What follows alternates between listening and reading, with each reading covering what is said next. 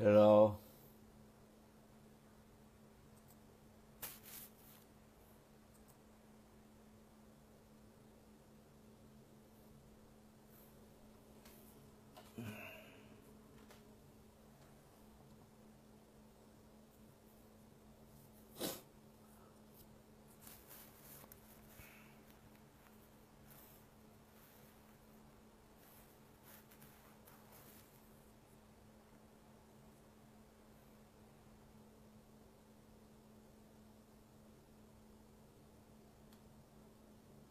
Hello mọi người, nó mất tiêu hết rồi.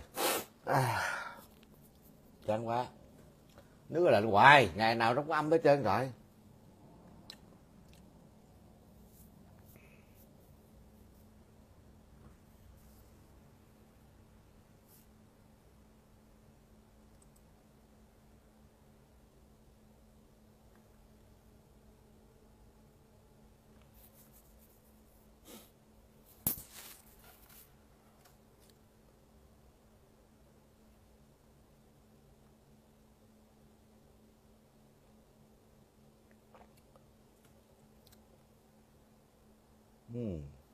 Bluetooth này nó có cái à, cái chức năng à, xóa phòng hả ta? rồi lý.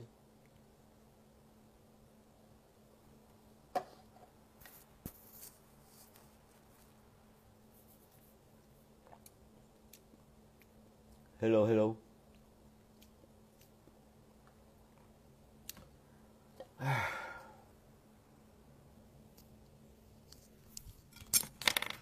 Mang đi trà uống nha.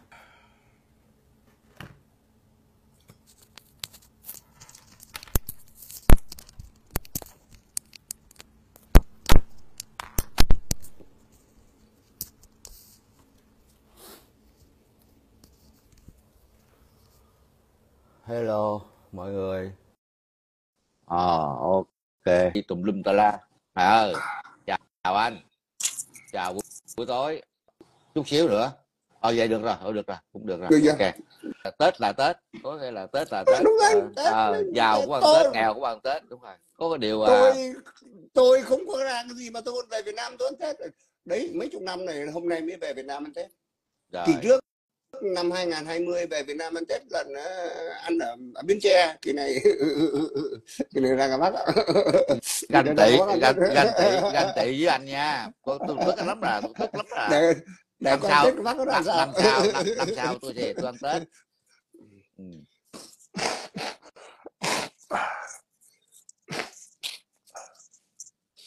tôi bảo đảm với anh là năm sau là năm hai cuối năm năm 25 là có mặt tôi có mặt ở tết luôn. Bởi vì tôi có tôi có cái giấy rồi giấy phép đóng mọc rồi nước mọc đỏ đàng hoàng luôn rồi. Vậy đó. Ờ. Ăn Tết hả? Ăn tết ừ. rồi bắt đầu từ giờ phải là giờ, bây giờ sắp tới là coi như ăn tết mọi năm luôn không có cần nữa tôi quê lắm rồi tôi, tôi quê lắm rồi. Tết Tết ăn, ăn Việt Nam nó thứ nhất là không khí anh Không anh khí, đúng rồi. anh ở bên đó anh tôi thấy anh ở bên đó tôi thấy bên chỗ tôi bây giờ năm San Diego năm nay là bây giờ hiện tại giờ có năm mươi mấy độ thôi mà đồng bào là làng chết bao nhiêu người. Và bên anh giờ nó mười mấy độ mười mấy độ thấy bởi vậy nó khổ lắm. làm gì làm làm gì làm anh nóng tôi chịu được mà lạnh thôi thôi thôi, thôi.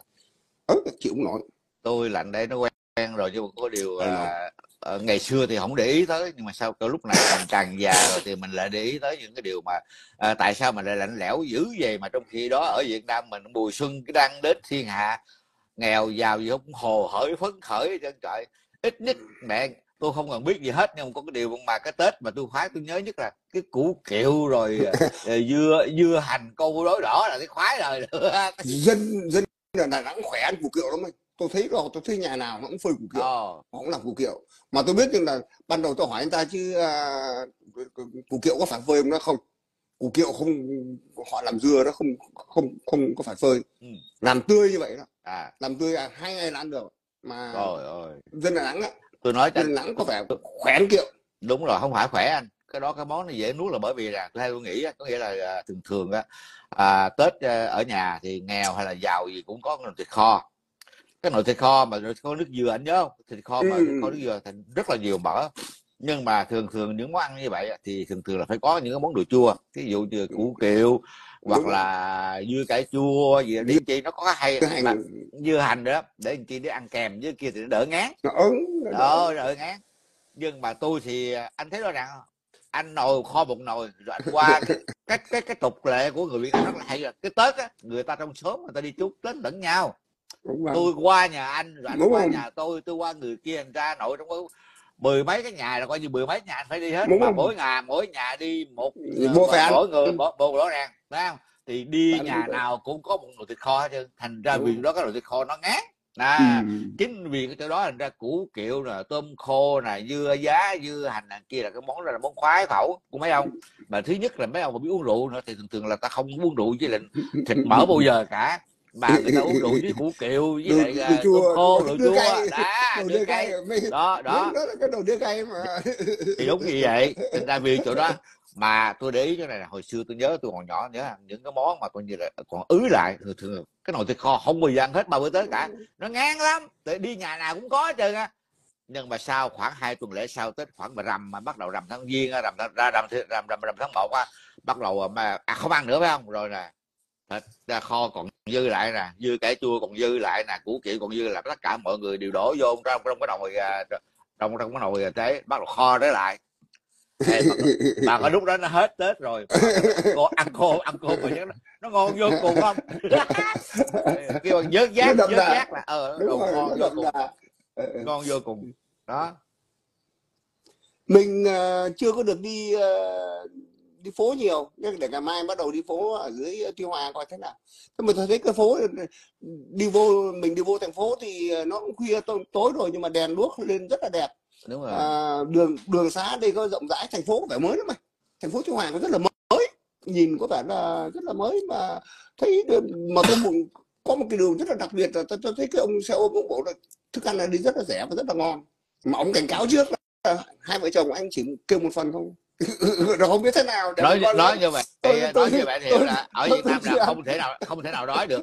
Ở Việt Nam mà- mình cũng cũng hay ở chỗ đây anh tôi cũng đi rất là nhiều nơi. Mình phải nói một cái đầu này đó hay nè. Cái cơ sở hạ tầng Việt Nam lúc này là ngon lành. Anh thấy đi chỗ nào đường xá nó cũng bự nó nở Ừ. rộng ra và thấy sạch sẽ. Có nghĩa là Sạch sẽ cái trung- ờ, Ừ. sạch sẽ trung tâm thành phố là coi như là đường xá là không không là không phải chê. À nói như vậy cái hạ tầng cơ sở là rất như là mình phải công nhận là mình phải ờ, nói một cách nôm na là coi như là hiện giờ nhà nước đang lo vấn đề đầu tư vấn đề hạ tầng cơ sở rất hay. À, đèn đường trường trạm là rất là hay nói thẳng là vậy. Kể cả trên miền núi cũng vậy kỳ rồi tôi đi Hà Tĩnh đi vô trên miền núi cũng cũng vậy đường đá đẹp lắm.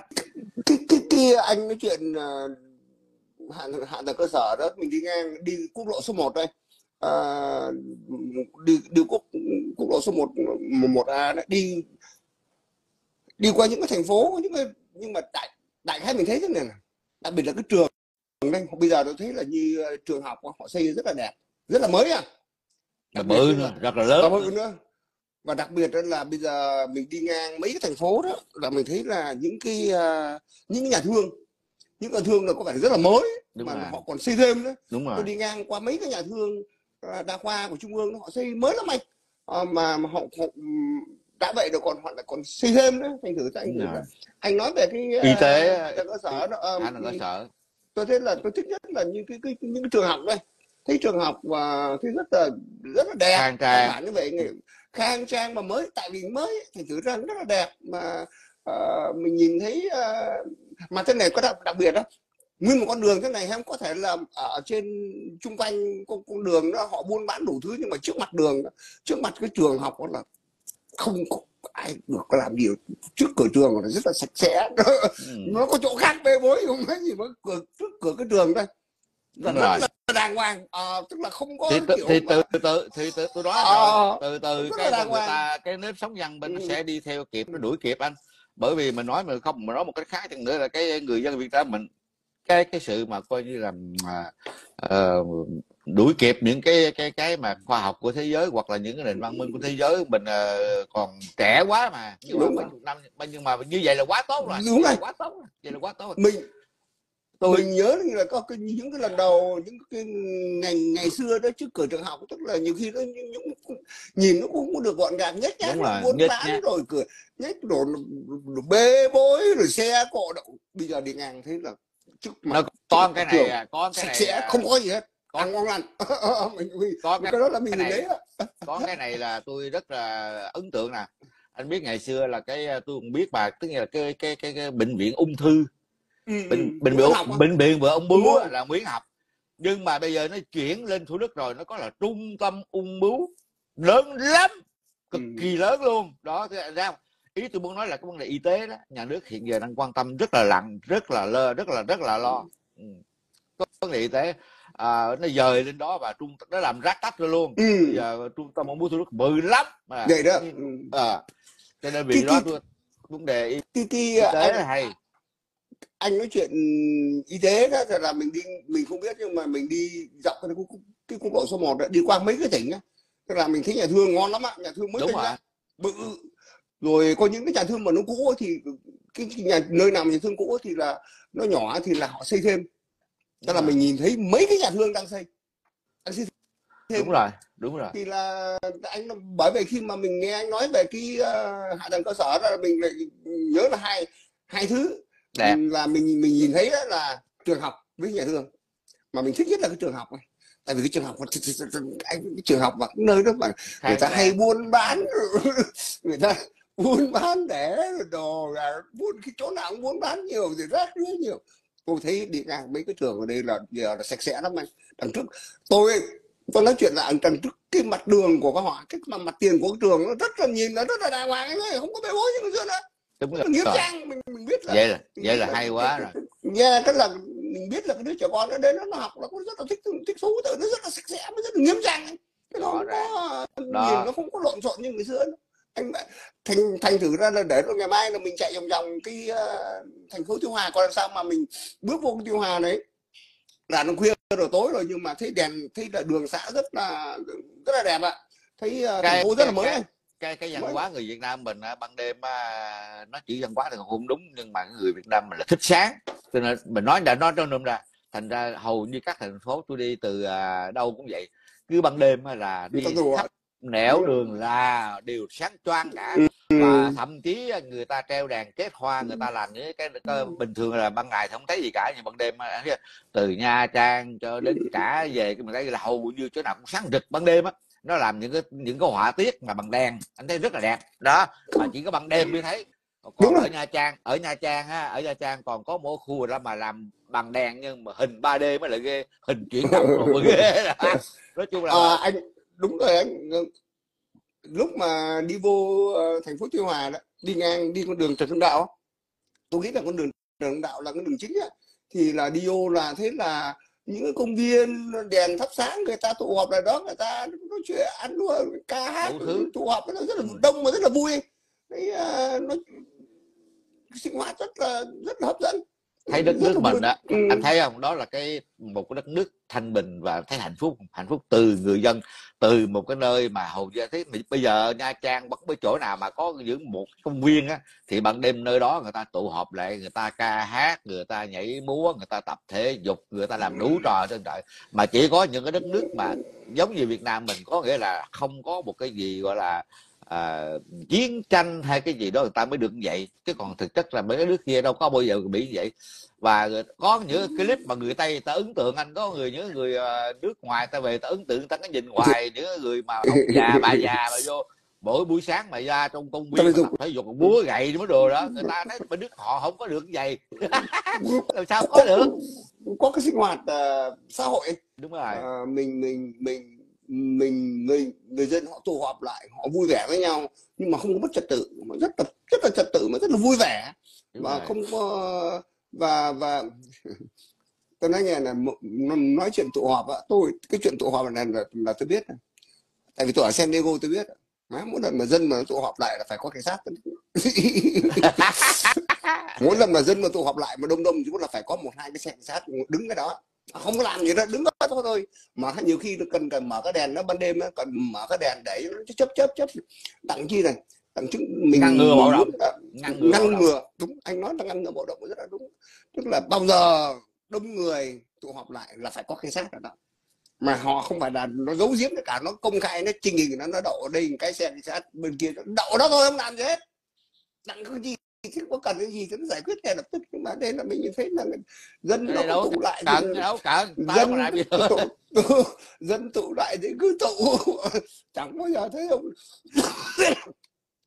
mình ờ, cái cái cái cái ờ, xã hội mình nó mình có phải mình phải có ở, ở Mỹ rồi mình phải có về Việt Nam mình ở đó thì mình mới thấy là có đúng rồi Mình đó là những cái sự khác biệt khác biệt cái cái cái cái xã hai cái xã hội nó cấu trúc nó rất là khác nhau anh đúng rồi. Cái à, cái cái cái cái xã hội của cái, cái, cái, người dân của mình cũng phải rất là kỷ luật. Mà họ rất là tự giác. rất là kỷ luật họ không có làm tự, loạn. tự giác họ tự giác. Họ không họ không có làm loạn đấy anh à tôi, tôi, tôi thấy này à, thằng cha Mỹ là hơi tí là nó Đây. mấy sếp Mỹ ở bên này anh mày tôi nói anh nghe một cái một cái cái mà bây giờ mình mới nói ra.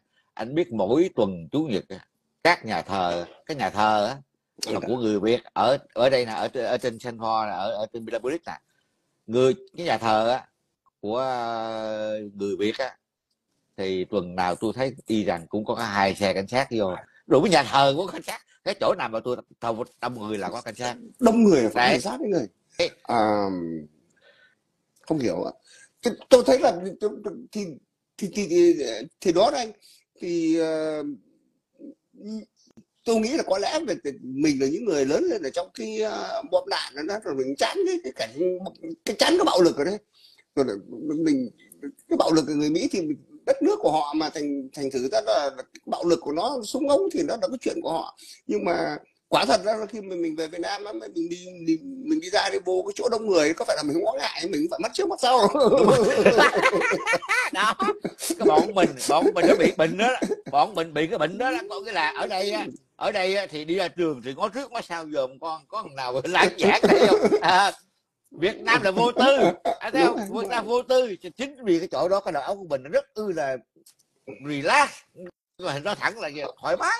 Rồi đi tôi bận tôi bận quần à, à, quần sọt à, bò sọ nó dài vô hoặc là nó dép vô đi lèn phèn lèn phèn lèn phèn ghé quán cà phê quán nhậu là không bao giờ để ý cái chuyện gì cả vô cái nhào vô là anh em còn ở đây không được ở đây phải đi tới đi lui phải dòm tới dòm lui này kia. Ớ ớ là khá là vậy. Thì à, thì chỉ có những cái đất nước ý tôi muốn nói như vậy nè. Ở như Việt Nam mình mình ở hai anh nói đúng á có nghĩa là mình ở đây rồi mình về Việt Nam mình mới so sánh mình mới cảm thấy là cái xã hội. Mình nói với là cái văn hóa xã hội đó mình cảm thấy Việt Nam mình thoải mái đó có nghĩa là nó Đúng không rồi. cần phải lo nghĩ. Đó anh biết ở đây rất sợ. anh anh nói chuyện thoải mái đó.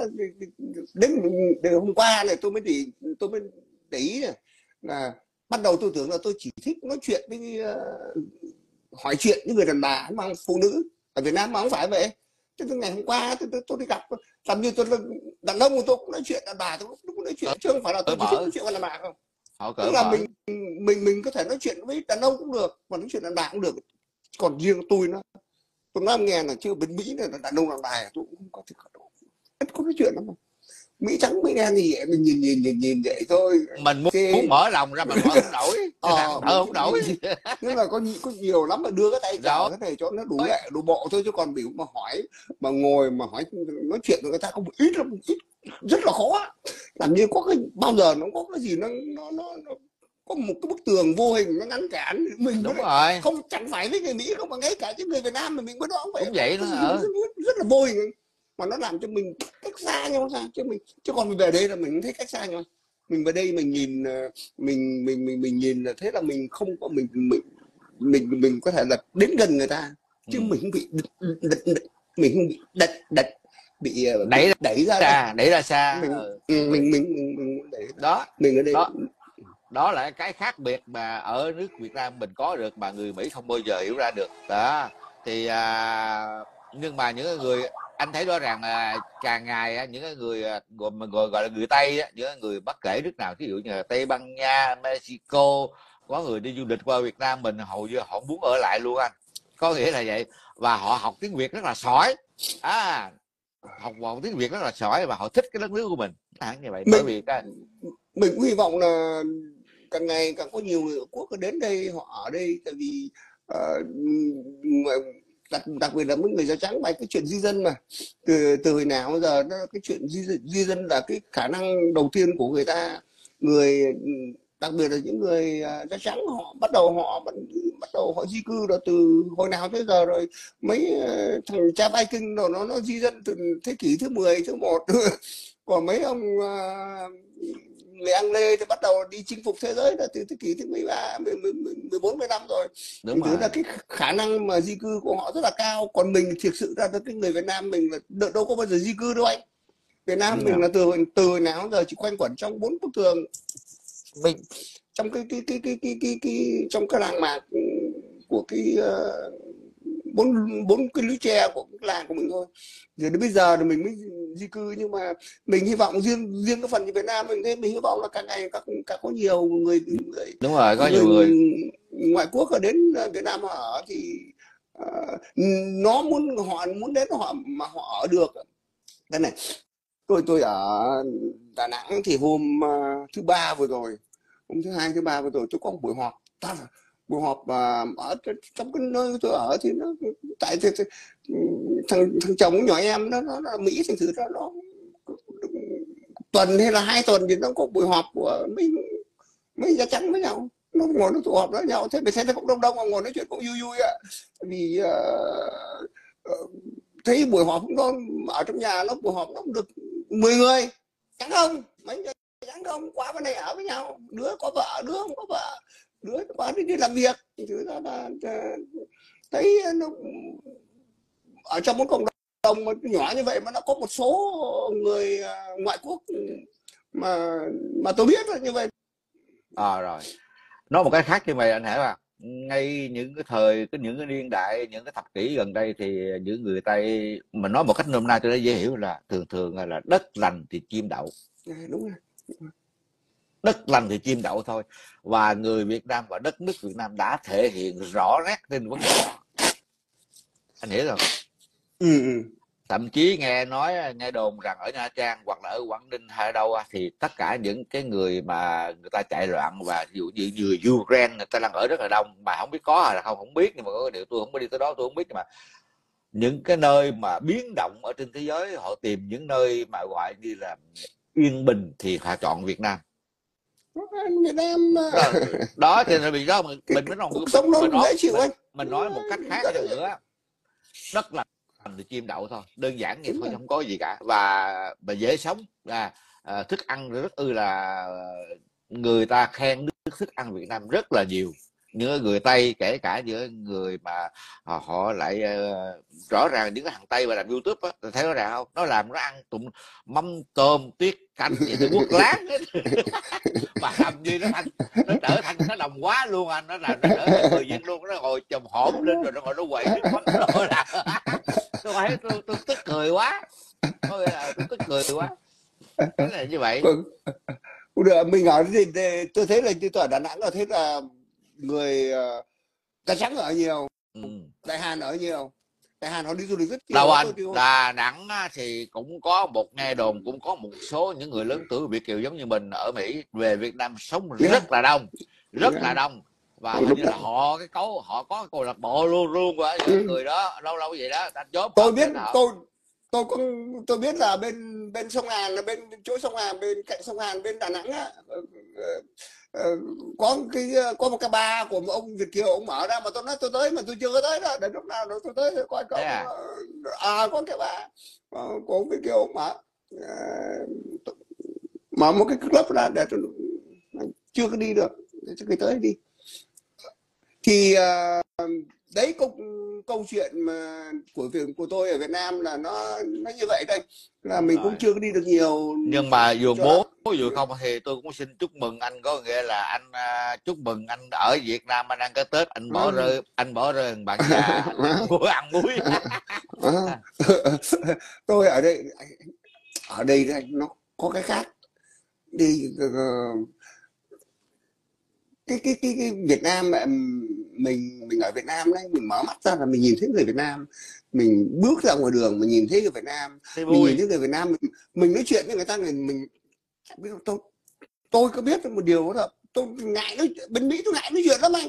Bất đắc dĩ tôi mới nói thôi chứ còn tôi không ai, ai cần cái gì tôi, tôi thành có thói quen ai cần gì hỏi tôi tôi nói chứ còn biểu mà tôi bắt tôi khởi đầu một câu chuyện mà tôi bắt bắt chuyện với người ta không, không có đâu. có làm được. Không bao giờ có câu chuyện đó. Ở đây nó cũng vậy tôi cũng vậy không á. phải mình không phải mình khó khăn hay là không Nhưng mà mình mở mình mở lời không được cái gì à nó nhưng mà ở đây đó ngồi nói chuyện tôi hồi sáng tôi cứ à, như tôi cũng ngồi tôi uống ly nước cam vậy đó cái đó, nghe nghe nó nói chuyện nghe người ta nói chuyện chán rồi là, là hỏi hỏi người lớn chán là nói chuyện với người lớn cũng chán rồi nói chuyện